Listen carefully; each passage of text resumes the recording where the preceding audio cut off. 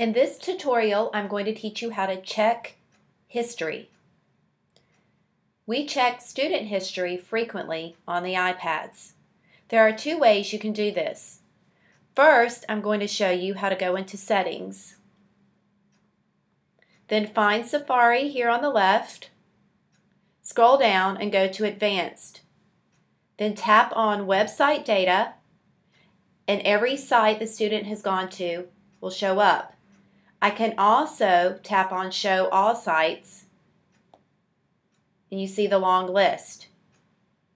You cannot tell in advance how long or what date they were on the websites. If I tap my Home button, I'm now going to go directly into Safari. To check the history here, I tap on this button and then this button and the history will come up. This will give you date and time of the recent history. And that's how you check history on the iPad.